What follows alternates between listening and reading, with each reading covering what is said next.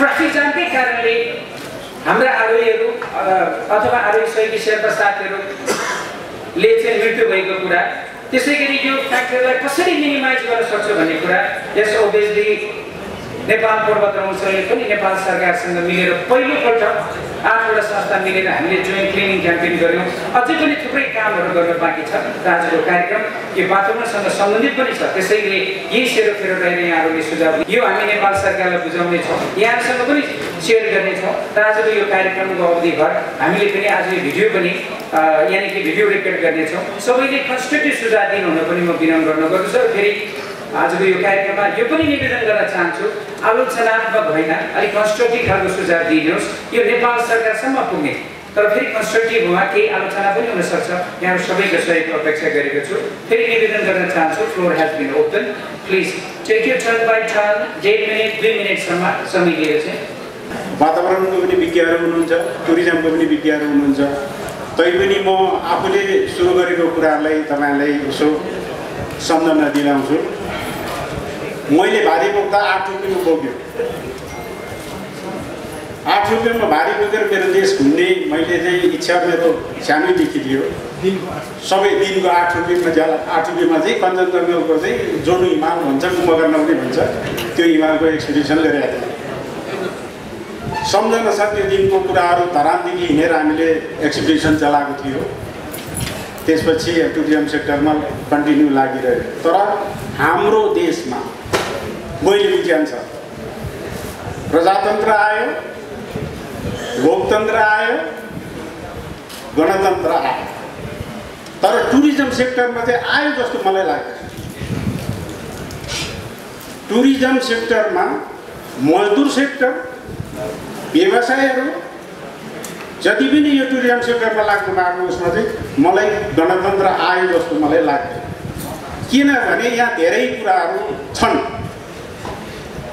अब एभरेज एरियाकै कुरा गर्ने हो भने हामीले धेरै दुःख पाएको छ त्यहाँ मजदुरहरूले धेरै दुःख पाएको छ। अब अहिले सरकारले घोषणा गरेको छ तिस लाख टुरिस्ट ल्याउने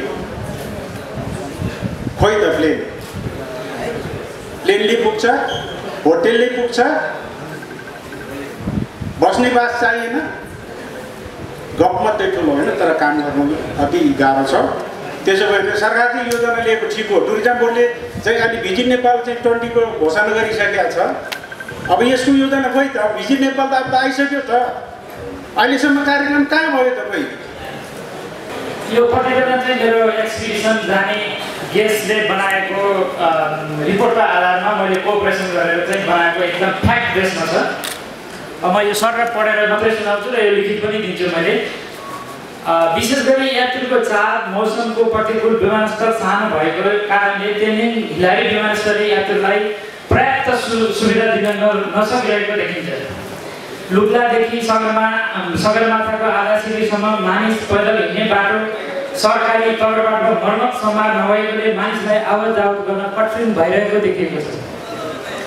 एकजना स्थानीय व्यक्तिले धेरै वर्ष अगाडिदेखि बाटो हिँड्ने यात्रुहरूबाट चन्दा उठाई सो बाटो मर्मत गरिएको देखिएको छ। खुम्बु क्षेत्रमा रहेका होटेलहरू व्यवस्थित रूपमा सञ्चालन हुन नसकेको र सो क्षेत्रमा रहेका होटेलहरू सरकारको कुनै पनि निकायमा केही दर्ता भएको तर अधिकांश दर्ता नभएको देखिन्छ।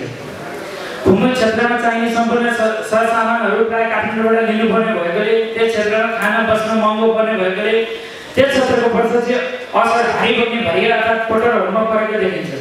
एकजना भरियाले औसत आठ सयदेखि हजार रुपियाँ एक दिनको ज्यादा दिने प्रचलन गरेको देखिन्छ औसतमा जहाँ उनीहरूले एक थर्मस पानीको पाँच सयदेखि नौ सयसम्म तिर्नुपर्ने अवस्था देखिन्छ। पोटरहरूले लगाउने लत्ता कपडा तथा राम्रो खानाको अभावले आधा शिविरभन्दा तल पनि उनीहरूको समस्या हुने गरेको देखिएको छ। साथै उनीहरूले बोक्ने भारीमा पनि एक रूपता नभएको र बालबालिका तथा अन्य औषधभन्दा बढी भारी बोकेको देखिएको छ। थुक्लाको उकालो भन्दा केही माथिको भागमा विभिन्न हिमालमा मृत्यु मृत्यु भएकाहरूको लास अवस्थित रूपमा चियान बनाएको देखिएको छ। आधा शिविरमा सरकारले कुनै पनि प्रतिनिधि सरकारको कुनै प्रतिनिधि नभएको देखिएको छ। सरकारको प्रतिनिधिको रूपमा एसपिसिसी भन्ने संस्थाले सम्पूर्ण सरकारको काम गरेको देखिएको छ। आधा शिविरमा आधिकारिक निकाय नभएको कारण ट्रेकिङमा गएका पर्यटक ट्रेकिङ पोइन्ट भन्दा माथि अगाडि जाने शिविरभन्दा शिविरमै लामो समयसम्म टेन हालेर बस्ने गरेको देखिएको छ। विगतभन्दा हाल आएर ट्रेकिङ एक्सपिरियन्सको लागि अत्याधिक मानिसहरू बढ्दै गएकोले व्यवस्थापन गर्न गाह्रो भएको देखिएको छ। लामै छ आधार शिविरमा कुनै पनि टिमले ठाउँ थोरै ओगर्ने ढुङ्गामा आफ्नो कम्पनीको नाम लेख्ने असामान्य ब्यानर लेखेको देखिएको छ। एभरेस्ट बेस क्याम्पमा चाहिँ ट्रेकिङ अपरेटरहरूले चाहिँ साइनबोर्ड देखेर चाहिँ ठाउँ ओगर्ने आधार शिविरमा आफ्नो टिमको लागि लगिएका डाक्टरले अनि टिमका बिरामीलाई चेक गर्ने गरेको तर उनीहरूले कुनै निकायबाट स्वीकृति नलिएको देखिएको छ। आफ्नो सुविधाको लागि मात्र भाडा भाडामा लिएर जाने हेलिकप्टरले आधा शिविरमा भूमि प्रदूषण साथै उक्त हिम पहिरो गएको चाहिँ त्यसको देखिएको छ। त्यो एउटा हेलिकप्टरले निकाल्ने साउन्ड चाहिँ पाँच पोइन्ट पाँच रेड स्टोरको हुने चाहिँ देखिएको छ। अनुमान छ त्यसको। त्यो हिम पहिरो जाने कारण चाहिँ।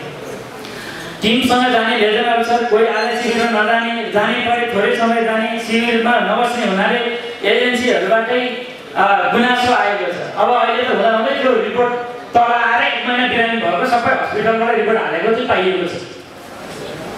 आधा शिविरमा धेरै टिमहरूको सहयोगले विगतमा भन्दा हाल आएर फोहोर व्यवस्थापन धेरै भएको पाइएको छ विगतभन्दा हिउँ पर्ने क्रम घट्दै गइरहेको र हिउँ पकाउने क्रम अत्याधिक बढ्दै गएकोले जसका कारण आधा शिविरको क्षेत्रफल बिस्तारै बढ्नुको साथै माथितिर गइरहेको देखिएको छ बेस क्याम्प चाहिँ साँगुरो हुँदै गइरहेको देखिएको छ केही समयसम्म केही समय अगाडिसम्म आधा शिविरमा सेताम्ने देखिने हिमालहरू बिस्तारै कालो ढुङ्गाहरू देखिने क्रम बढ्दै गइरहेकोले विभिन्न शेर्पा आरोहीहरूको चाहिँ अनुभव सुन्न पाइएको छ। एसपिसिसीमा भएको जनशक्ति अभावको कारण शिविरमा व्यवस्था व्यवस्थापन गर्न अप्ठ्यारो भएको पाइएको छ। सुरक्षा निकायको कार्यालय आधा शिविरभन्दा धेरै टाढा भएको कारण मृत्यु भएका मानिसको मुजुल्ला गर्न र त्यस्ता प्रकृतिका अन्य कार्यहरू सम्पन्न गर्न अत्यन्त गाह्रो भएको अनुभव विभिन्न टिमका सदस्यहरूबाट पाइएको छ। एसपिसिसीबाट क्याम्प टूसम्म बाटो बनाउने र सोको हरेक पटक मर्मत गर्ने काम अत्यन्त एउटा मात्रै राम्रो काम पाइएको छ।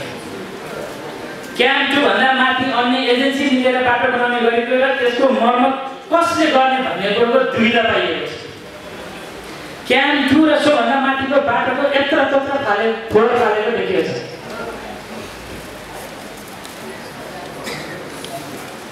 क्याम्पमा उठा क्याम्प उठाउँदा प्राय कम्पनीले फोहोर सोही ठाउँमा फ्याँक्ने गरेको र सो सो फोहोर धेरै भएर पुरिएको र यतातत्र फालिएको पनि देखिएको छ। तापक्रम वृद्धिको क्रममा हाल आएर क्याम्पमा पनि हिउँ पकेर सानो पोखरीको रूपमा देखिएको छ। क्याम्प थ्रीमा पुरानो ट्रेनका साथै धेरै पहिला तानेका डोरीहरू यत्र तत्र छरिएको देखिएको छ। क्याम्प थ्रीमा को भौलिक कारणको अवस्थित एकदम भिरालो भएकोले यत्र तत्र छरिएको फोहोरको व्यवस्था गर्न निकै गाह्रो भएको देखिएको छ। क्याम्प फोरमा प्राय खाना पकाउने सानो ग्यासको खाली बोतलहरू साथै अन्य धेरै छ मलाई कसैको आरोप होइन तर बोल्दाखेरि चाहिँ कम्तीमा विषयवस्तु के हो र मैले बोल्नुपर्ने सुझावले कति अर्थ राख्छ भन्ने सोचौँ र बोल्नको लागि नबोलौँ अथवा कसैले लेखिदिएको गीतको भाका ल्याएर सुनाउँदैमा राम्रो हुँदैन यो चाहिँ सायद हामीले विचार गर्नुपर्ने हो कि। म चाहिँ तिनवटा विषयवस्तुमा यहाँहरूले कुरा सेयर गर्न दिनुभएको छ। तिन मिनटको ठाउँमा पाँच मिनट भयो भने अन्यथा नसम्झिने दिनु होला म विषयवस्तुभन्दा बाहिर जाँदिनँ र गएँ भने मलाई सम्झाइदिनु पनि होला। एउटा छ ट्राफिक जामको कुरा गर्नुभयो. एभरेस्टमा सायद हामी टेबलमा बसेर अथवा एउटा मञ्चमा बसेर चाहिँ यसको मूल्याङ्कन गर्नु त्यति उचित हो भन्ने लाग्दैन। एभरेस्टमा यो वर्ष ट्राफिक जाम थियो भन्ने म मान्दिनँ। म पनि त्यही माउन्टेनमा पन्ध्रजना क्लाइम्बर पठाएको कम्पनीको अनर हो र मेरा इम्प्लोइहरूले दिएको डाटा मैले आफूले पाएको डाटा अनुसार हामीले सगरमाथामा वर्षमा स्प्रिङ सिजनमा सयदेखि हजार क्लाइमरलाई हामीले सजिलै चलाउन सक्छौँ। त्यो त्यो अवस्थाले चाहिँ पर्यटन बोर्ड विभागले चाहिँ बढी पर्मिट जारी गर्यो भन्ने चाहिँ सत्य होइन। त्यसमा चाहिँ माथि माउन्टेनमा केही समय यसको पनि अलिकति विस्तृत रूपमा म भनिदिन्छु। नर्मल्ली हामी एक्सपिडिसन अपरेटर एसोसिएसन एउटा संस्था पनि छ।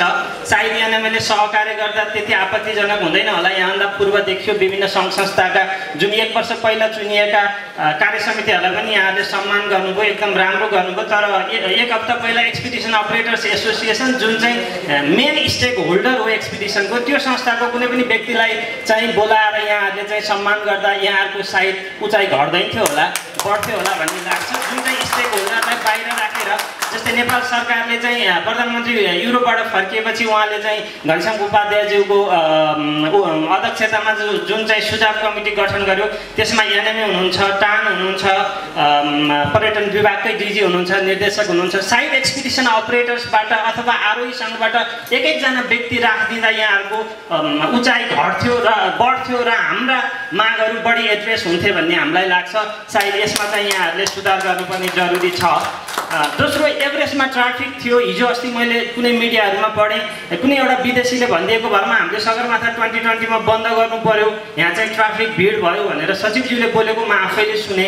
सायद उहाँले यो यसको चाहिँ एनालाइसिस हामीले एभरेस्ट बन्द गर्दाखेरि चाहिँ यसमा पर्ने नकारात्मक र सकारात्मक भागहरू के हुन् भनेर सायद मूल्याङ्कन गर्न सक्नु भएन होला। मलाई लाग्छ हामी घरमा चोर पस्छ भनेर चाहिँ घर घरमा चाहिँ झ्यालढोका नै नराखिकन घर बनाउनु उपयुक्त हो भन्ने मलाई लाग्दैन यसका चाहिँ निराकरण केबाट हुन सक्छन्? अथवा चाहिँ हामीले भिड जान कम गर्नलाई के गर्नुपर्छ भन्ने होला? जुन आरोहणको क्रममा थियो म भन्छु हामी पाँच मेबाट एघार मेसम्म एभरेस्टको समिटमा डोरी टाङ्ने पहल गरिरहेको थियौँ। यसमा एक्सपिडिसन अपरेटर्स एसोसिएसन जहाँ कि नेपालमा चौबिस सय पच्चिस सय कम्पनी हुँदा हामी आरोहण सञ्चालन गर्ने पचासवटा कम्पनीभन्दा बढी छैनौँ ती सबै हामी स्टेक होल्डर एक्सपिडिसन अपरेटर्स एसोसिएसनमा छौँ। भनेपछि हामीलाई नै बाहिर राखेर एउटा बन्द कोठामा तपाईँहरूले बनाउनु भएको रिपोर्टले नेपाल सरकारले के साँच्चै आरोहीका समस्या समाधान गर्ला जहाँ कि हाम्रा आरोही यत्र आरोहीहरू छन् आरोहीसँग सम्बद्ध मजदुरहरू छन् तिनलाई बाहिर राखेर तपाईँहरूले कोठाभित्र बनाएका सहमति अथवा चाहिँ बनाएको रिपोर्टले चाहिँ के एड्रेस गर्ला त? एकचोटि यहाँहरूले चाहिँ मूल्याङ्कन गर्न जरुरी ठान्दैछु मैले र के भएको थियो एभरेस्टमा भने थोरै डिटेल एक्सप्लेन गर्नुपर्ने हुन्छ। ट्राफिक जामको कुरा गर्नुभयो। हामीले पाँचदेखि एघार मेसम्ममा एभरेस्टमा डोरी टाङ्ने हाम्रो लक्ष्य थियो। त्यही अनुसार हामीले क्याम्पोसम्म डोरी पुर्याएकै हो।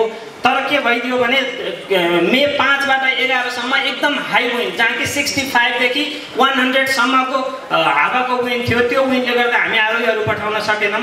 एघारदेखि चौधसम्मको विन्ड चाहिँ हामीसँग कम थियो र हाम्रा आरोहीहरूले रात दिन नभने आठ हजार पाँच सय मिटरमा बसेर तल नझरिकन एउटा हावाको भरमा चार दिनसम्म उहाँहरूले चाहिँ लगातार डोरी टाङ्नु भएको छ। यसलाई चाहिँ हामीले एप्रिसिएसन नगर्ने उहाँहरूले गर्नुभएको दुःख उहाँहरूले गर्नुभएको सङ्घर्षलाई चाहिँ हामीले मूल्याङ्कन नगर्ने र यहाँ बसेर ट्राफिक जाम भयो बाटोमा डोरी टाङ्गिएन भने खोइ सरकारले चाहिँ नेपालमा त्यत्रो प्रोग्राम गरेर भारतीय प्रधानमन्त्री मोदीलाई ल्याउँदा एउटा हायत होटलसम्म बाटो पिच गर्न चार महिनामा सकेन ताकि पानी पर्यो भनेर।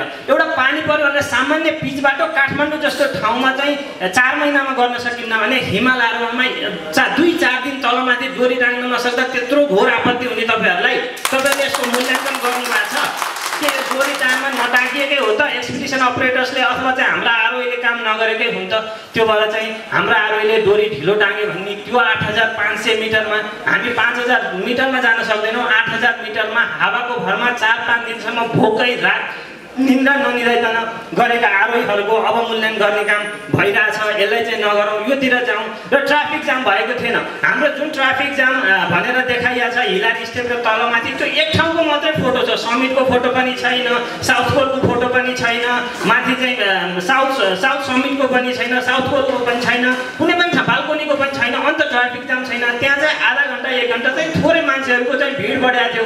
हामी चाहिँ के भन्छौँ भने आरोहीले कमसेकम आरोहण गर्न जाँदाखेरि चाहिँ चाहिँ चढ्ने मात्रै होइन झर्ने पनि कसरी हो सिक्नु पर्यो? त्यो चाहिँ हुन्छ। जस्तै भारतीय अहिले चाहिँ एक्सिडेन्ट सबभन्दा बढी हो दोस्रो टपिकमा चाहिँ गएँ म। यहाँले चाहिँ एक्सिडेन्ट बढी हो भनेर चाहिँ विदेश विदेशी मिडियाहरूले लेखे। यो गलत हो एक्सिडेन्ट बढी भएको होइन। एभरेस्ट जस्तो ठाउँमा अथवा हिमाल आरोहण भनेकै यहाँले बुझ्नुभयो एडभान्चर एक्टिभिटिज एडभान्चर एक्टिभिटिजमा हाई रिक्स भएको एडभान्चर एक्टिभिटिज भनेको आरोहण हो। हाम्रा आरोही अथवा हाम्रा शेर्पाहरू म मरेँ भने चाहिँ मेरो मेरो मृत्युपतिको क्षतिपूर्ति दिनु भनेर जो आफ्नो मृत्यु पत्रमा साइन गरेर जान्छ के त्यो मान्छे चाहिँ मर्नै चाहन्छ त? मर्नैलाई गएको हो त? तपाईँ हामी हेरौँ न स्पेन जस्तो राष्ट्रले एउटा रेडबुल गेममा चाहिँ वर्षमा उसले पच्चिसजना मान्छे मार्छ दुई सयजना मान्छे अङ्गभङ्ग हुन्छन्। तर त्यसलाई निरन्तरता दिएको के भने उसको कल्चर हो उसको पहिचान हो उसको आम्दानी हो। मान्छे हाम्रो एभरेस्ट जस्तो ठाउँमा कुनै हाम्रो आरोही मऱ्यो त एकजना? छैन भनेको हाम्रा आरोही चाहिँ क्वालिफाइड छन् एक्सपिरियन्स छन्। जुन विदेशीहरूको मृत्यु भयो अधिकांश के देखिन्छ भने म गएको समय भारतमा पनि अलिकति भ्रमण गरेँ। त्यहाँ पनि अधिकांशको क्वेसन यही थियो कि आरोही किन बढी मरे?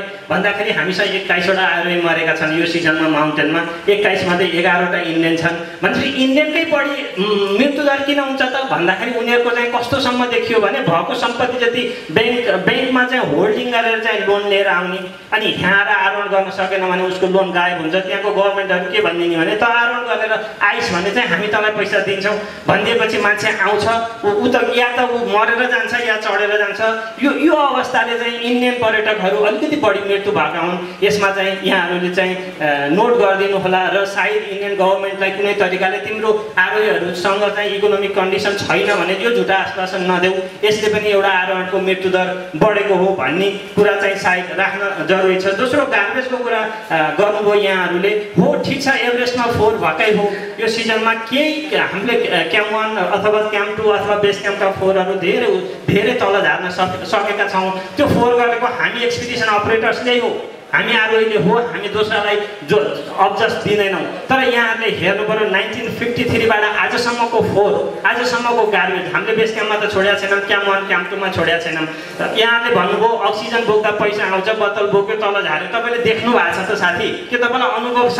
तपाईँको शेर्पाले भन्यो कसले भनेर यो प्रश्न उठाउनु भयो कि शेर्पाले अक्सिजन बोक्दा गार्बेज छोड्छ भनेर? तपाईँसँग के अनुभव हुनु पऱ्यो कि तपाईँको आरोहीले भनिदिनु पऱ्यो यस्तो यो अर्काले लेखिदिएको गीत नगाउँ हाम्रा आरोहीलाई बदनाम बदनाम नगरौँ हाम्रा मिडियाले गलत नलेखौँ हाम्रो यो पेसा हो हाम्रो यो धर्म हो यो हाम्रो बाँच्ने आधार हो।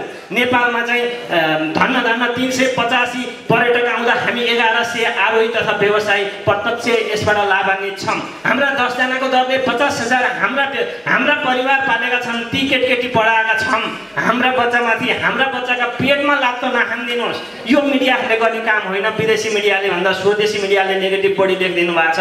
आरोही भनेकै जोखिम जोखिम हो मान्छेको मृत्यु हुन्छ हामी मर्छौँ भनेर साइन गरेर गएका हौँ हामी मर्न रेडी छौँ भने यहाँलाई के को आपत्ति? त्यो भएर यो एक्सिडेन्ट भयो एभरेस्टमा चाहिँ बढी मान्छे मऱ्यो हो घटाउनुपर्छ हामी कोसिस गर्छौँ राज्यले ट्रेनिङ दियोस् हामी ट्रेनिङ लिन कोसिस गर्छौँ हामी आफैले माग गरेका छौँ एउटा थ्रेस होल्ड राखियोस्। मिनिमम पनि हुन हुनसक्छ व्यवसायले साइडले किन विरोध गर्यो? तर हामी भन्न सकौँ न त त्यसो भए एक्सपिडिसन अपरेट नै गर्ने हो भने राज्यलाई दुई करोड ब्याङ्क ग्यारेन्टी राख्नुपर्छ भनौँ न त।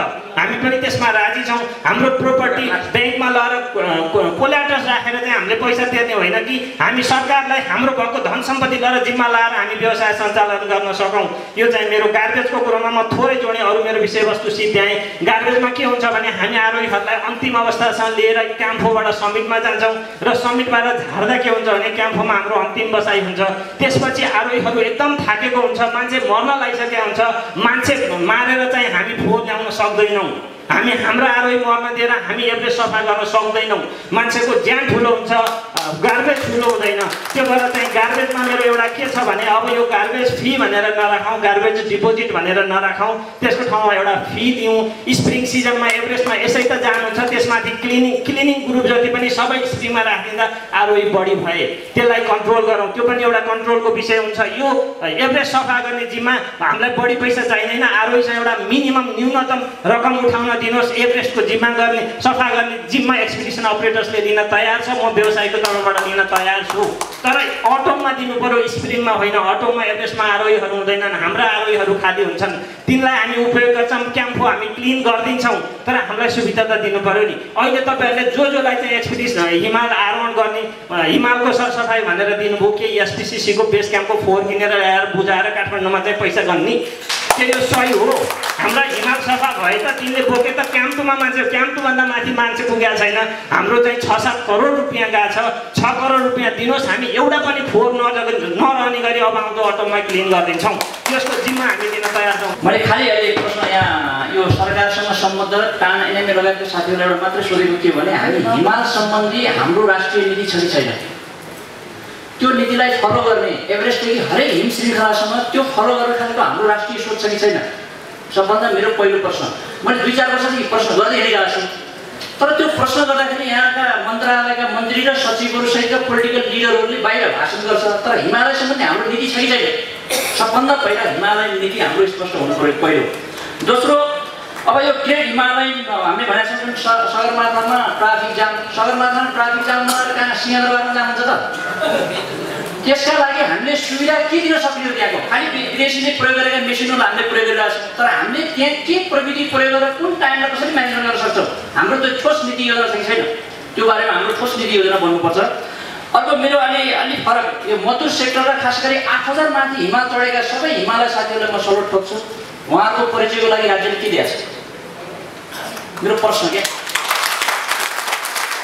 एउटा सिपाहीको ठुलो परिचय हुन्छ कर्मचारीको ठुलो परिचय हुन्छ राष्ट्रको गौरव संसारमा चिनाउने ती हजार हिमाल आरोहीहरूको राष्ट्रिय परिचय के हो त्यो राज्यले दिनुपर्छ अझ म त भन्छु हिमालको सुरक्षा सम्बन्धी राज्यले विशेष सुरक्षा दल बनाउनुपर्छ ताकि उनले त्यो हिमालको सुरक्षा गर्न सकोस् त्यहाँ गएका यात्रीहरू पनि सुरक्षा गर्न सकोस् त्यो गर्नुपर्छ तेस्रो कुरा चौथो कुरा जहाँ जुन मजदुर साथीहरू हुनुहुन्छ यो कुनै सोल्टी होटल वा अर्को कुनै ठुलो होटलमा काम गर्ने मजदुरले बराबरको तलब वा सुविधा त्यो एभरेस्ट वा अरू हिमालमा भारी बोक्ने भलिया भन्न अप अपशब्द नबोक्नु होला। उहाँले सुविधा पाउनु भएको छैन? त्यसको बारेमा राज्यले के नीति लिएको छ योजना के लिएको छ? भन्दा प्रयोग आए युजाइन छ भने यस्तो प्रयोग गर्ने मजदुरलाई प्रयोग गर्ने र त्यो मजदुरहरू भारी बोकी बोकी हिमाल चढ्छ। हिमाल चढे बापत मैले पनि चढेँ भन्दा गर्व गर्छ त्यसैमा चित्त बुझाउनु परेको छ। यो बारेमा पनि सरकारले एउटा ठोस लियो र अन्तिममा मेरो खालि खास गरी यो टान एनएमए लगायतका सङ्घ संस्थाहरूप्रति मेरो खालि साझा प्रश्न अलिक गम्भीर प्रश्न पनि हो यसमा। मैले प्रश्न उठाउँदै हिँडेको हिमालय सम्बन्धी यो देशका राज्य सञ्चालकहरू खास गरी अहिले केपी सहितका सबै मन्त्री र सबैलाई मेरो एउटा प्रश्न के भने मध्यबाडी लोकमार्ग सम्भव छ। हिजो महेन्द्र मार्ग सम्भव भयो। हामी ग्रेट हिमाल भनेर ग्रेट हिमालको एउटा ग्रेट प्रोजेक्टको रूपमा आम हिमालयको सबभन्दा मुख्य पुँजी नेपालको पुँजी हिमालय पुँजी हो अरू भनेको बेचेर बुझाउने हो त्यस सम्बन्धी हिमालमा ग्रेट हिमालय केबल कार सहितको एउटा हिमालय नीति ल्याउनुपर्छ र आम मजदुरहरूलाई त्यसको चाहिँ एउटा सेक्युरिटी सहितको सुरक्षाको व्यवस्था गर्नुपर्छ र संसारका सबै मान्छेहरू हिमालमा आराम गर्ने ठाउँ बनाउनुपर्छ आनन्द लिने ठाउँ बनाउनुपर्छ रेस्ट गर्ने ठाउँ हुनुपर्छ र सबै पैसा ल्याएर बुझाउने ठाउँ बनाउनुपर्छ त्यो हिमालयसँग सामुद्रिक नीति जस्तो हिमालय नीति ल्याउनुपर्छ यो प्रस्तावमा राख्न चाहन्छु र म पर्यटन क्षेत्रका विद्यार्थी र व्यवसाय पनि हो र आज यो अन्तर्क्रिया कार्यक्रममा खास गरिकन दुई तिनवटा विषयवस्तु यहाँ उठिरहेको छ र मैले यो विषयवस्तुलाई क्षेत्रगत र रूपमा बढी भन्दाखेरि यो नीतिगत रूपमा सम्बोधन हुनुपर्ने कुरा मैले लेखेको हुँदाखेरि त्यतातिर अलिकति मैले ध्यान आकर्षण गरेँ र सुरुमा मैले एउटा के भने भन्दाखेरि हामी नेपालीहरूको बानी कस्तो रहेछ भन्दाखेरि त्यो युरोप अमेरिकातिरबाट फर्केर आउँदाखेरि त्यो धुवासम्मको एयरपोर्ट या दुबईसम्मको एयरपोर्टमा बस्दाखेरि हामी प्लेन बोर्डिङ गर्न र बोर्डिङ पास किनेको लागि यति सभ्य यति अनुशासित भएर हामी लाइनमा बस्छौँ नेपालीहरू किनभने हामीसँग भाषाको समस्या छ त्यहाँको नीति र त्यहाँको नियम पनि बुझिरहेको हुँदैनौँ। जब हामी काठमाडौँ एयरपोर्टमा आउँछौँ अनि हतार हतार त्यो सानो सानो बच्चा महिला या अ, अशब्द मान्छेहरू पनि ख्याल नगरेको सबभन्दा पहिले हामी पासपोर्ट चेकिङ गर्नको लागि हामी काउन्टरमा पुग्छौँ हाम्रो बानी हो यो स्वभाव हो।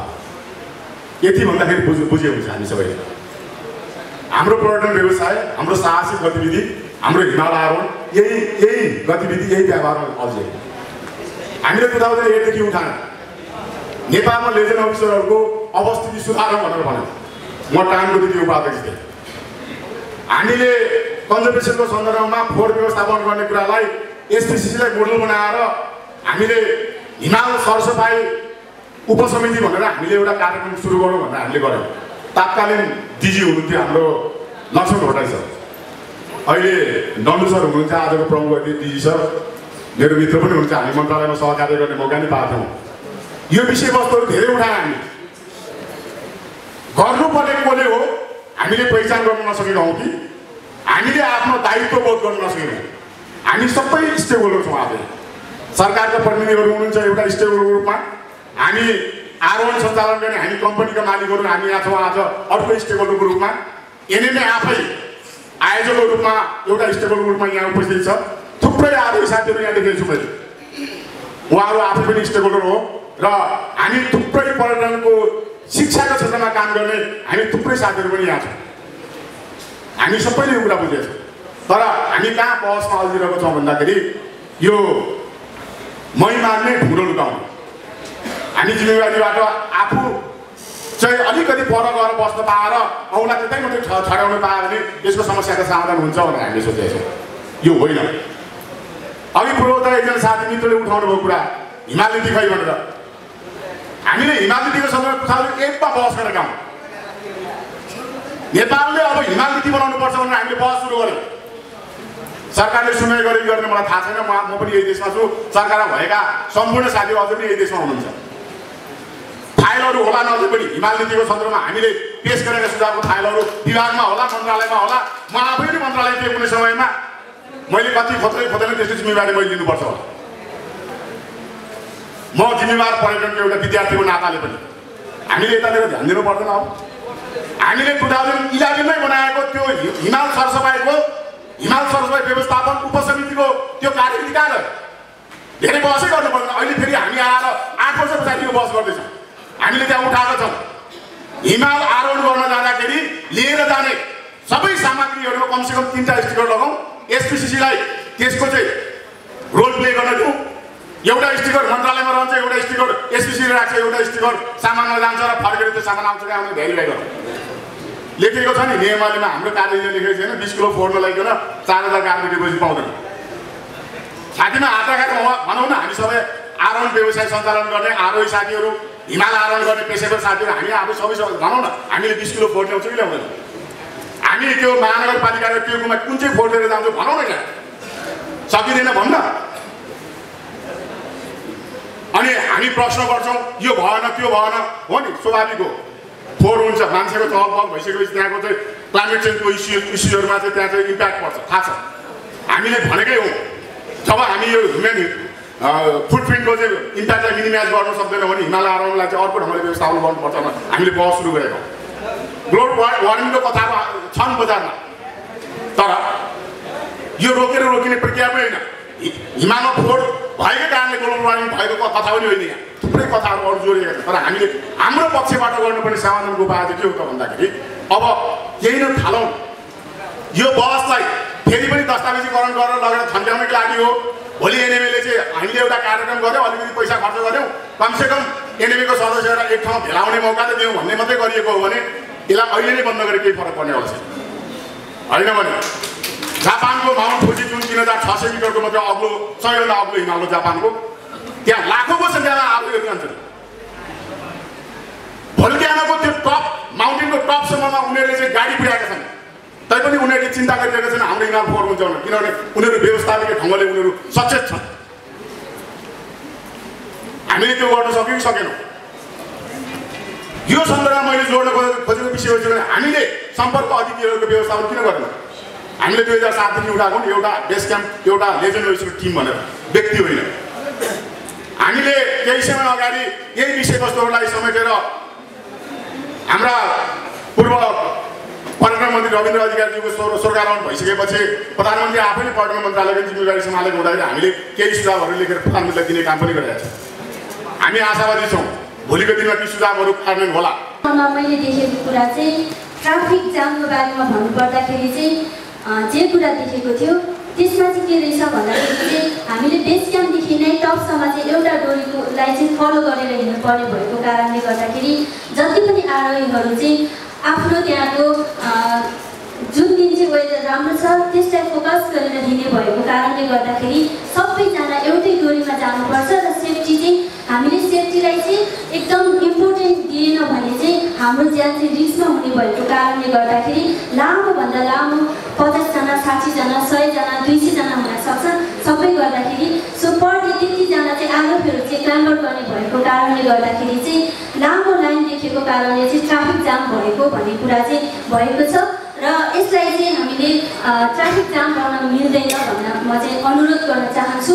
किनभने यो चाहिँ अहिले मात्रै होइन मसँग चाहिँ फोर टु थाउजन्ड एटिनको पनि धेरै धेरैभन्दा धेरै फोटोहरू मसँग कलेक्सन छ।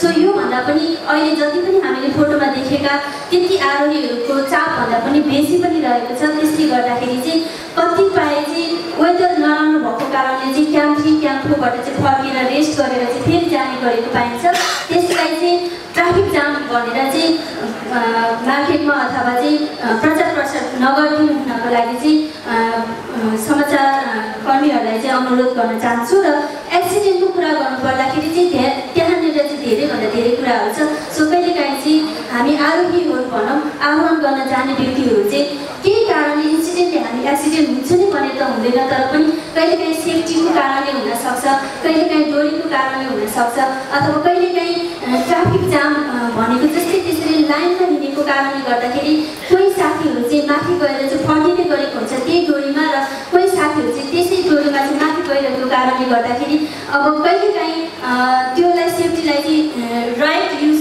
गर्न नसकेको कारणले गर्दाखेरि पनि मृत्यु हुने गर्दछ र कहिलेकाहीँ चाहिँ कुनै कुनै अहिलेको सिचुएसनमा चाहिँ खुट्टा नभएका आरोहीहरू पनि चढ्ने चलाउने गरेका छन्। त्यसले गर्दाखेरि हामी सकुशल भएको व्यक्तिहरू हिँड्न सक्ने भन्दा पनि त्यस्ता व्यक्तिहरूले गर्दाखेरि चाहिँ अलिकति लामो समय लागेको कारणले गर्दाखेरि चाहिँ अक्सिजनको कमीले गर्दाखेरि अक्सिजनको ठाउँमा नपुग्नेसम्म चाहिँ त्यो अक्सिजनले काम गरेन भने चाहिँ जति पनि एक्सिडेन्ट हुने गरेका छ मृत्यु हुने गरेका छ त्यसलाई चाहिँ म आफूले देखेको र बोकेको कुराहरू गर्न चाहन्छु र गार्बेज डिपोजिटको कुरा गर्नु पर्दाखेरि चाहिँ हामी आरोही हामीले बिस पच्चिस लाख तिरेर चाहिँ हामीले कुनै कम्पनीलाई तिरेर चाहिँ आरोहण गर्न गएका थिए।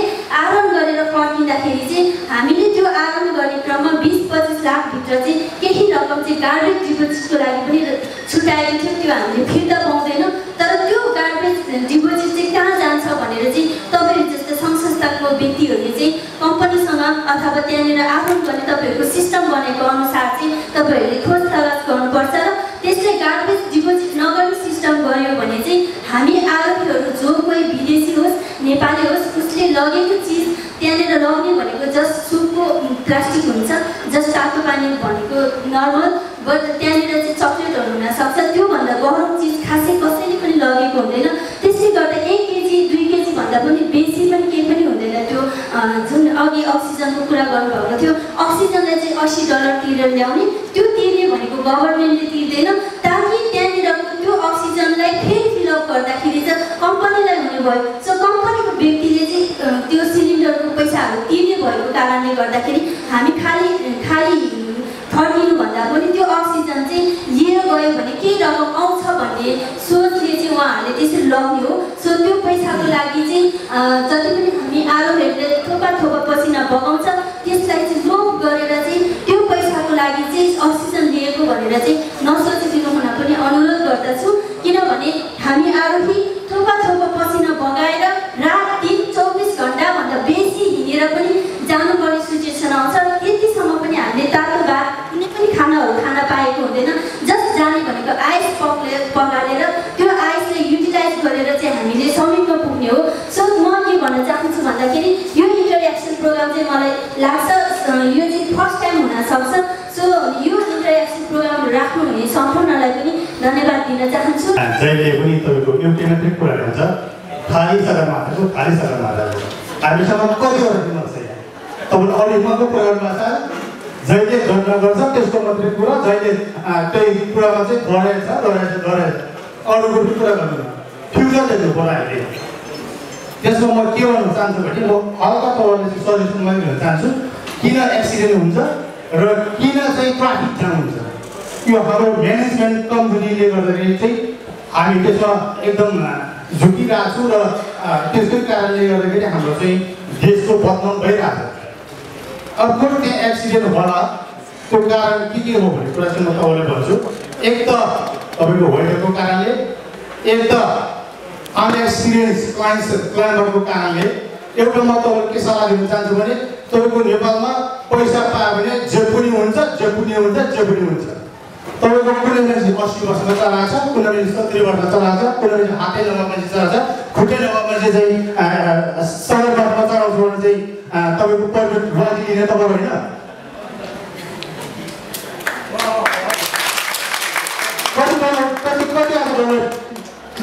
सरकारले एउटा मान्छे खुट्टा भाँचेको हुन्छ एउटा मान्छे हात भाँचेको हुन्छ त्यस्तो मान्छेले म सडकबाट चलाउँछु भन्ने खालको के हो यो के हो उसले गर्दाखेरि त्यहाँ तपाईँको सक्षम मान्छे पनि त्यहाँ ट्राफिक जान पर्छ। यो चाहिँ हाम्रो ठुलो लाभको कुरा हो। यसमा तपाईँले चाहिँ यसमा एकदम तपाईँको सामान्य निकायले सरकारले चाहिँ बुझ्ने कुरा हो। मलाई लाग्छ तपाईँको किनभने यस्तो सानोतिनो कुरामा चाहिँ हामी ठुल्ठुलो सिद्धान्त गर्दैछौँ हामी म्यानेजमेन्ट गर्नुपर्छ। किन बाह्र डलर एउटा एउटा एउटा क्लबबाट त्यो पैसा चाहिँ तपाईँको एक हजार डलर मात्रै तपाईँको गार्बेज डिपोजलाई चाहिँ राखियो भने त्यसलाई हामीले चाहिँ किन सक्दैन हामीले चाहिँ सगरमाथा अन्त भोलि अब सबै माउन्टेनहरू चाहिँ हामी सबै गर्नु सक्दैन त एउटै हो अहिले तपाईँले गर्नुभएको छ जहिले सगरमाथा कुरा गर्छ जहिले सगरमाथा कुरा गर्छ यो दिन म मान्दैन divide and say safety and security of the mountain. अर्को चाहिँ वेस्ट म्यानेजमेन्टको पार्ट दुईवटा यो एकदमै सिम्पल म एउटा प्रशिक्षक पनि भन्नु मात्रै म मेरो विद्यार्थी जहिले पनि भन्छु थिङ्क सिम्पली सिम्पल हामीले सरल तरिकाले सोच्यो भने सरल तपाईँको उपायहरू। So we already know the problems तर आज हामी प्रब्लमभन्दा पनि सल्युसन तर्फ लाग्नुपर्छ भन्ने लाग्छ। अनि एउटा हामीले अरूको अरूबाट सिक्दा केही अब I think there is no issue so एउटा एक्सपिरियन्स अब सेयर यो माउन्ट फिनाली अमेरिकामा हो। त्यहाँ एउटा क्लाइम्बिङ रेन्जरको एउटा सिस्टम छ which includes mountain rescue team and also they manage the waste अहिले हाम्रो एभरेजको कुरा हेऱ्यो भने अब त फोर्ट छ यो छ एक्सिडेन्ट एक्सिडेन्ट हुन्छ भने हामी सबैले थाहा छ। तर त्यसको लागि सल्युसन खोइ त? हाम्रो लागि माथि माउन्टेनमा रेस्क्यु टिम खोइ त? Know there's going to be accidents. We all know that people are going to die. तर त्यसको लागि हाम्रो गभर्मेन्टको एउटा रेस्क्यु टिम निकाय आई डोन्ट सी इट म अब साठी सत्तरी वर्ष भइसक्यो नेपालमा अझै पनि नेपालमा एउटा रेस्क्यु टिम नआउनु भनेको it's it's a big shame but it is possible हामी वी आर देयर अहिले हामी कहाँ well qualified professional man power छ डक्टर छ माउन्टेन गाइड छ सबै छ युज देयर तर गभर्मेन्टले यसलाई चाहिँ अब फेरि they have to manage how to use them We cannot volunteer all the time. More about 2012, 14, 15, a lot of big disasters. I was always involved as a rescue doctor. म हिमालमा भएको कारणले हो हाम्रो माउन्टेनको एउटा कोडहरू एथिक्स हो अरूलाई समस्या पर्दाखेरि हामीले माथि गर्नैपर्छ but I did not volunteer all my life त्यसको लागि एउटा डेडिकेट टिम हुनैपर्छ यो in case if you have this team मसँग I have a concept paper मैले टु थाउजन्ड सेभेन्टिन एटिन नाइन्टिनमा धेरैसँग सेयर गरिसकेँ है gave this concept paper to many, many departments. There are nobody actually took any action. अहिले पनि मसँग यहाँ छ हाम्रो प्रेसिडेन्ट यहाँ हुनुहुन्छ हाम्रो डिसी साहब यहाँ हुनुहुन्छ। If you need I have here right now एउटा planning just not about Everest but I think we have focus more about the whole नेपालको हिमालमा हामीले how can we ensure safety and security to the people that come to climb the mountains of Nepal त्यो हाम्रो क्लाइन्ट्सको एउटा एकदमै चिन्ताको विषय हो। जुन अहिले इलेभेन थाउजन्ड डलर समथिङ छ। Why not make it an inclusive thing अहिलेको अवस्था भनेको इट्स लाइक टिकट सिस्टम एभरेजको लागि टिकटहरू एघार हजार। It doesn't include anything so I think we have to focus अब यसलाई चाहिँ एउटा प्याकेज सिस्टम बनाएर त्यहीबाट वेस्ट म्यानेजमेन्टको पनि हामीले something you know like we have something inclusive of waste management rescue team and all those thing base क्याम्पमा बसेर माथि हाई क्याम्पको फोहोर गर्नु हुँदैन म्यानेज हुँदैन। ट्राफिक पुलिस अफिसमा बसेर बाटोको ट्राफिक म्यानेज हुँदैन। They has to be somebody on the spot to regulate all those things मेरो विचारमा यिनीहरूलाई आई क्यान मलाई सबै कुरा त थाहा छैन तर मैले देखेको जति पनि मैले अनुभव गरेको एक्सपिरियन्स गरेको जुन कुरा आई थिङ्क इज अरू देशमा त्यो काम गरिरहेको छ भने it's already a working model and working system there नेपालमा हामीले कपी गऱ्यो भने कुनै आपत्ति छैन we have to copy like good systems that are already working somewhere else. नेपालमा हामी कपी गरौँ it works absolutely fine in those countries. म त्यति मात्रै भन्न चाहन्छु नेपाल सरकारले तपाईँको आठ दस हजार आरोहीहरूको सामाजिक सुरक्षाको ग्यारेन्टी गर्न सक्दैन अब समग्र कृषि प्रधान मुलुक भन्छ कृषिमा चाहिँ बत्तिस अरबको चाहिँ तपाईँको चामल मात्रै विदेशबाट ल्याउन सक्छ। संसारभरि हाम्रा एक्सपर्टिजहरू सप्लाई गर्न सक्ने हाम्रो यो क्षेत्रका आरोहीहरूको सम्मानमा एउटा सामाजिक सुरक्षाको ग्यारेन्टी आज किन गर्न सक्यो देशमा जतिसुकै राजनीतिक परिवर्तनहरू भए पनि आखिर हामीले हाम्रो मासपटलमा त्यो हिसैकै जगडीको अवस्था र दिए भने पाइन्छ भन्ने हाम्रा आरोहीहरूलाई किन तपाईँको सधैँ चाहिँ तपाईँको यो अन्तर्क्रियाहरूमा गर्ने पोइन्ट आउट गर्ने यसलाई कार्यान्वयनको पक्षमा नलाने र यसलाई नीति नियममा किन चाहिँ हामीले इन्क्लोज गर्न सक्दैनौँ? त्यसको लागि अब यो ढिला भइसकेको छ। यसलाई ढिला नगरिकन अब सम्बन्धित सबै पक्षहरूले अब जुझारुका साथ लाग्नुपर्छ जस्तो मलाई लाग्छ। त्यसो गर्न सकियो भने हामीले हाम्रा आरोहीहरू र हाम्रो हिमालप्रति हामीले गर्व गर्ने दिनहरू हुनसक्छ। नत्र भने हामीले आरोही होइन विदेशी आरोहीहरू लिएर आएर देशमा चाहिँ आरोहण गर्ने जिम्मा दिन सक्ने दिनहरू पनि आउन सक्छ। नेपाल सरकारले यसपालि देखिएका विभिन्न किसिमका कृतिहरूलाई समेटेर सुझाव सुझाव दिनका लागि एउटा स्टडी टिम गठन गरिसकेको छ। र त्यही स्टडी टिमले एनएबीसँग टानसँग अरूसँग पनि र राय मागेको छ। र त्यही रायको सिलसिलामा मलाई लाग्छ यो एनएमएले यो आजको कार्यक्रम यहाँहरूलाई आयोजना गर्यो हामीलाई आयोजना गर्यो। सर्वप्रथम यसरी एक्सपर्ट साथीहरू व्यवसायी साथीहरूलाई सँगै राखेर एकै ठाउँमा राखेर सुझाव सङ्कलन गर्ने जुन प्रक्रिया एनएमएले सुरु गरेको छ यो सराहनीय छ भन्ने मैले ठानेको छु। मलाई दुई तिनवटा कुराहरू यस सन्दर्भमा याद आउँछ। एउटा ट्राफिक जाम हो कि होइन तपाईँहरूले क्लियर गरिसक्यो इट इज स्टिल कन्फ्युज अनि त्यस पछाडि दुईवटा दोस्रो कुरो। जामका कारणले गर्दा मान्छे मरेको हो कि होइन? स्टिल कन्फ्युज अनि त्यस पछाडि के म्यानेजमेन्ट सही थियो? म्यानेजमेन्ट सही थियो। इट इज क्वेसनेबल भन्नुको अर्थ के हो भने म्यानेजमेन्ट सही छैन। र अब इन्भाइरोमेन्ट सम्बन्धी के गर्ने? इन्भाइरोमेन्ट म्यानेजमेन्ट सम्बन्धी के गर्ने? र इन्भाइरोमेन्ट म्यानेजमेन्टका कुराहरूमा तपाईँ हामी सबैलाई थाहा छ। हाम्रो अनुशासनदेखि लिएर हाम्रो स्पिरिटदेखि लिएर हाम्रो नैतिक धरातलदेखि लिएर हाम्रा सम्पूर्ण कल्चरका कुराहरू हाम्रो यसभित्र आउँछ। हामी यसमा कति जिम्मेवार छौँ।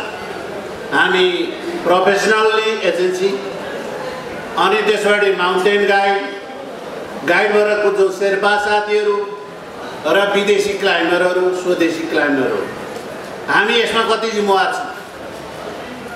यो त टपिक के हुनसक्छ भने आत्मसमीक्षाको टपिक हुनसक्छ। यसमा हामी कति शुद्ध छौँ? अब त्यो भएको कारणले गर्दा यी सबै विषयहरूलाई समेटेर साथीहरूले आन्सर आफैभित्र खोजेर दिइसक्नु भएको छ। अब मैले धेरै बताइराख्नु जरुरी छ। हामी डेमोक्रेसीमा छौँ र हदसम्म डेमोक्रेसीको उपयोग गरिरहेका छौँ। र हामीले कहिलेकाहीँ आफूलाई पनि बिर्स बिर्सिन्छौँ हाम्रो दैनैतिक धरातल पनि बिर्सिन्छौँ सबै कुरा बिर्सिन्छौँ र मलाई के लाग्छ भने हामी आफू त आफू तरिकाले आफ्नै आत्माबाट सोध्यौँ भने मिस्टेक हामीभित्रै छ। खोजी गरौँ। अब रह्यो सरकारले। के गर्नुपर्छ भनेर मैले त हेर्नुहोस् आएका दिनदेखि हाम्रा कानुनहरू डिफेक्ट छन्। हाम्रा नीतिहरू डिफेक्ट छन् हाम्रा व्यवहारहरू डिफेक्ट छन् हाम्रा कार्यविधिहरू डिफेक्ट छन् भनेर मैले सबैलाई संशोधित प्रस्ताव मन्त्रालयमा पठाइसकेको छु। नेपाल सरकार समेत पठाइसकेको अवस्था हो। मैले देखेसम्मका कुराहरू अब यहाँ सुझावहरू तपाईँहरूले आएको छ लिखित पनि छ मौखिक पनि छ तपाईँहरूले बोलेसम्मका कुराहरू सबै मैले टिपेको छु। मलाई लाग्छ अब आउने साथीहरू टिपिराख्नु भएको छ। र यो रिपोर्टको रूपमा सुझावको रूपमा एनएमएले हामीलाई दिन्छ। हामी स्टडी टिममा छौँ। मलाई लाग्छ हदैसम्म हाम्रो तर्फबाट यसलाई समावेश गर्ने अबका नीति नियममा समावेश गर्ने प्रयास स्वरूप हामीले यो गरेका छौँ। तपाईँहरूलाई यसका लागि समग्रमा सुझाव दिने साथीहरूलाई पनि भित्रैदेखि राम्रो होस् यो सेक्टर राम्रो होस् भनेर लागि पर्नुभएका साथीहरू सबैलाई धन्यवाद। तपाईँहरूले हृदयदेखि भन्नुभएको छ। हृदयको आवाज मैले बुझेको छु। सबैलाई राम्रो गर्ने चाहना छ। राम्रो बनाउने चाहना छ। तर राम्रो त रातै रातभरि र दिनभरि बन्न सक्दो रहेछ। मे वास्तवमा त्यसलाई मेटेरियलाइज गर्ने भनेको नीतिगत रूपमा मेटेरियलाइज गर्ने गभर्मेन्टले हो र व्यवहारमा मेटेरियलाइज गर्ने तपाईँ हामी प्रोफेसनल साथीहरू त्यस कारणले गर्दा यसमा कहाँ कहाँ के के कुराहरू सुधार गर्नुपर्छ सरकारको सन्दर्भमा हामी स्टडी टिमले लाग्नेछ र त्यस अनुसारको सुझाव दिनेछु। यसपालि अपर्च्युनिटी छ। निश्चितै रूपमा तपाईँहरूले भनेका कुराहरू ग्रहणयोग्य छन् समावेश गर्न योग्य छन् र अपर्च्युनिटी के छ भने हाम्रो विभागीय मन्त्री सम्मानीय प्रधानमन्त्रीज्यू नै हुनुभएको कारणले गर्दा यसपालि दिएका सुझावहरू कार्यान्वयन छिटो हुन्छ भन्ने हामीलाई लागेको छ। त्यसमा पनि सम्मानीय प्रधानमन्त्रीलाई बिबिसीले इन्टरभ्यू दिएर उहाँले एक हदको औ अनुभव गरिसक्नु भएको छ। त्यस कारणले गर्दा उहाँलाई खड्किसकेको विषय छ। त्यस कारणले गर्दा लागु हुन सक्ने सम्भावना छ अपर्च्युनिटी छ। यही बेलामा हामीले स्वाट त्यो लाग्ने गरेर पिरो लाग्छ नि पिरो पनि घाँटीमा लाग्छ मुखमा लाग्छ जिब्रोमा लाग्छ। लाग्ने गरेर औषधि दिन सक्यौँ भने प्रिस्क्रिप्सन दिन सक्यौँ भने यसपालि कानुन हुन सक्ने सम्भावना मैले चाहिँ व्यक्तिगत रूपमा देखेको छु। र आशा गरौँ हाम्रो सुझाव पनि त्यही तरिकाको आओस् र अनि वाक्क नीतिगत रूपमा चेन्ज होस्। व्यवहार रूपमा साथीहरूले आफ्ना व्यवहारहरू जो जो साथीहरूले आफूलाई चाहिँ समूल रूपमा समीक्षा गरेर जाने कुराहरूमा चेन्ज गर्न सक्नुहोस्। मलाई लाग्छ आशा गरौँ यस क्षेत्रमा सुधार गर्न सकिन्छ। सुधारका सम्भावना प्रशस्तै छन्। त्यस कारणले गर्दा एकले अर्कोलाई आरोप लगाउने भन्दा पनि सर्वे भवन्तु सुखिन। सर्वे भवन्तु सुखिनको मान्यता दिउँ। यो अर्थ भ्यालु भनेको त्यही हो। र लोकका समस्ता सुखिनो भवन्तु भन्छ नि संस्कृतिमा सबै लोकका मान्छेहरूको सुखी होस् भन्ने सन्दर्भमा हामी लागौँ। मलाई के लाग्छ भने फलनले गर्दाखेरि भएन भन्नुभन्दा पनि हामी सबै लागेर कल्याण गरौँ सबैको कल्याण गरौँ यसैमा हिँड्छ। साथीहरूले भन्नुहुन्छ हिमाल त धेरै छन् नेपालमा चार सय चौधवटा हिमालको प्रोफाइल नेपाल पर्वतारोहणसँग नेपाल सरकार मिलेर बनाउँदैछ। किन एभरेस्टको आयो भन्ने जहाँ समस्या हुन्छ जहाँ घाउ हुन्छ त्यसमा औषधि गर्नुपर्ने हुन्छ आजको यो कार्यक्रम भनेको नितान्त बुद्धिजीवी पर्यटनसँग सम्बन्धित इन्टरप्रेनर र विशेष गरेर नम्बर वान प्रायोरिटी आरोहण गर्ने आरोही साथीहरूको लागि हुनसक्छ घर घरै आरोहण गरेर फर्केर पनि थकै लागेर पनि रिस उठेको होला आक्रोश पनि पोखाउनु भएको छ इनपुट पनि आएको छ। आजको यो भोइस भनेको नेपाल पर्वतन सङ्घले राखेको यहाँहरूको हितको लागि। किन भने हिमाल विगतदेखि नै चढ्थ्यो। नाइन्टिन फिफ्टी थ्रीदेखिको रेकर्ड भए पनि त्योभन्दा पहिला पनि हिमाल छ त्यो समस्या किन आज आयो भन्ने कुराले नै आजको ताजा फ्रेस भोइस नेपाल सरकारलाई र अन्तर्राष्ट्रिय जगतमा यो तिर्पले युआइए समेतलाई र इनएक्सपिरियन्स क्लाइम्बर्सहरू टेक्नोलोजी नपुगेकोहरूलाई पनि यो एउटा माइल स्टोन लेखेको एउटा सन्देश पठाउनुको लागि। यसलाई एक नम्बरमा आरोहीहरूले गौरव गर्नुपर्छ र अघि कति साथीले चाहिँ यो कार्यक्रम राखेको चाहिँ नेपाल पर्वतरण सङ्घले खर्च मात्रै गरेर सघाउनु लागेको कि भन्ने एउटा मित्र थियो। फुलमाला चढाउनुपर्छ त्यस्तो। किनकि नेपाल पर्वतरण सङ्घले यस्ता कार्यक्रम गरेर नाफा गरेर गर्ने नाफा मुलुक संस्था होइन यहाँहरूको क्षमता बढाउने संस्था। र विगतमा पनि थियो आज पनि छ। कसले के गर्यो भन्ने कुरा त्यो मिडिया जगतले बुझ्नुपर्छ कसको हितको लागि भयो भन्ने कुरा आज सगरमाथाको डिजास्टरदेखि लिएर ट्राफिक जामको कुरा छ। हुनु त नेपाल सरकारलाई म पनि कहिले कहीँ रिस उडेर कराउनु छ कराउँछ पनि यहाँ डाइरेक्टर सगरमाथाको ट्राफिक जामको यस्तो इस्यु छ राजधानीको ट्राफिक त सल्भ भएको छैन विश्वले नेपालको सगरमाथालाई किन टार्गेट राख्छन् कसैले सगरमाथालाई रेस गर्नुपर्छ भन्ने भोइस पनि छ त्यसमा तपाईँहरू मन्त्री त हुनुहुन्न एभरेस्ट जहिले पनि वसन्त ऋतुमा एक महिनाभित्र एक हप्तामा चाहिँ समिट गर्छ पाँच सात सय त तर एघार महिना सगरमाथालाई रेस्ट दिएको छ यो कुरालाई हामी नेपाली आरोहरू व्यवसायिकहरूले यो भोइसलाई अन्तर्राष्ट्रिय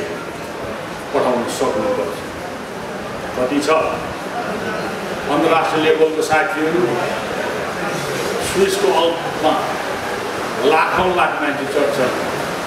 त्यसमा ट्राफिक जामको इस्यु नआउने नेपाललाई हुने भन्ने कुरामा यो डिक्लेयर गर्नुपर्छ ट्राफिक जाम होइन। वातावरणको कुरा पनि निस्क्यो। वातावरण नेपालले मात्रै बिगारेको प्रयोग गरेको होइन। यो विश्वले गरेको चिज विश्वले पनि यसको समस्या भोग्नुपर्छ भन्ने आवाज नै। र जस्तै अहिले नेपाल सरकारले अब खाल्टामा बोले करायो भने नसुन्ने डाँडामा बसेर करायो भने सुन्ने भएकोले एउटा त तपाईँहरूलाई मौकाको विषय डाइरेक्टर साहब जसलाई कम्प्लेन गर्यो भने उहाँले पठाउने ठाउँ ठेगानमा पुग्ने बेलामा एक वर्ष लाग्थ्यो। धन्न हाम्रो प्रधानमन्त्री विदेश भ्रमणमा चाहिँ एभरेस्टको इस्यु आयो अनि तात्तिएको छ नेपाल। तात्तिएको बेलामा फलमलाई सोच्याउने बेला पनि है? यसलाई राम्रोसँग बुझ्नुपर्छ। नेपाल सरकारलाई गाली गर्ने होइन। बाटो बनाउँछु भन्ने बेलामा बनाउनु पर्छ।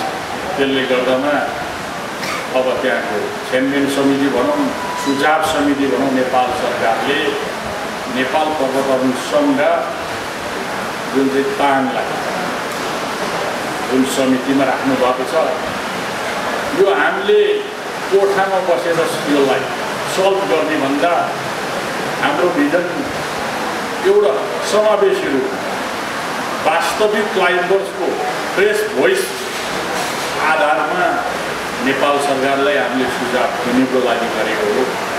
यसले जुन जति उपस्थित हुनुपर्ने आरोहरू त्यति त भएन। तर यहाँहरू जुन उपस्थित हुनुभएको छ जुन हामीले तोकेको सङ्ख्याभन्दा बेसी नै ग्यादरिङ हुनुभएको छ यो सबैको चासोको विषय हो।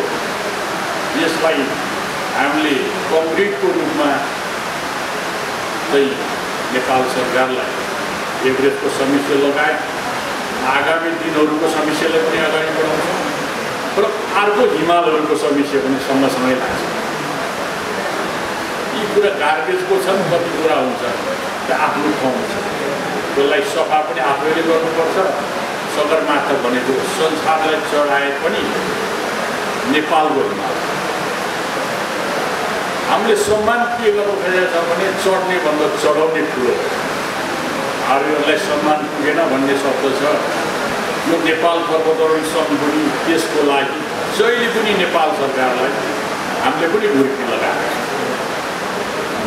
विदेशमा एउटा आरोही भयो भने उसको जन्मै सिद्धिन्छ नेपाल आफ्नो सरकारले गुडविल एम्बेसडर भनौँ अपोइन्टमेन्ट अफ गभर्मेन्टको लागि पनि माउन्टेन सेक्टरको चाहिँ गार्जेनको रूपमा छ भने हाम्रो आरोहीले पाउनुपर्ने जुन छ गर्नुभएको योगदानको कदर नभएको कुरामा नेपाल पर्वतारोहण परिवार पनि यसमा तपाईँहरूसँगै छ।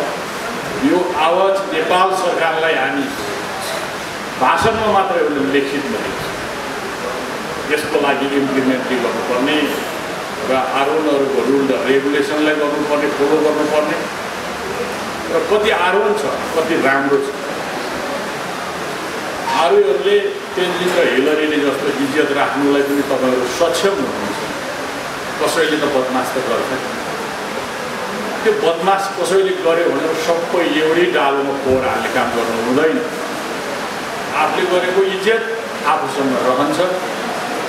कतिपय आरोहण दलका व्यक्तिहरूले आरोहण नगरे पनि गर्यो भनेर दावा गरेर फेक कुरा हुने आएको हरेक कुरा यो हामी यो कहाँ पुगाउँछौँ भन्ने कुरा चाहिँ हाम्रो इम्प्लिमेन्टिङ एजेन्सी नेपाल सरकार जुन विभागमा यहाँ सक्षम डाइरेक्टर हुनुहुन्छ यसको लागि नेपाल सरकारले राम्रोसँग छेनमेन गरिरहनु भएको छ यहाँहरूको आवाजलाई हामी सत्य र तथ्य रूपमा भिडियो रेकर्ड छ लिखितमा रेकर्ड छ